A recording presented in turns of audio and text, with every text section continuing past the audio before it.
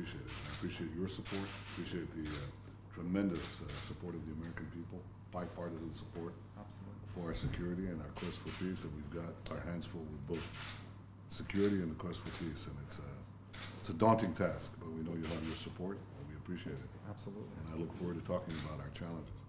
Well, we, uh, you live in a challenging neighborhood. It's a tough. But uh, it is. But uh, the Israeli-American relationship is one of the most important ones we have, and certainly our commitment to that pr- that partnership is bipartisan, and it should remain that way. And that's why I'm pleased the president's coming here in March to. We look forward to receiving you. Absolutely. Thank you. Please, sit down.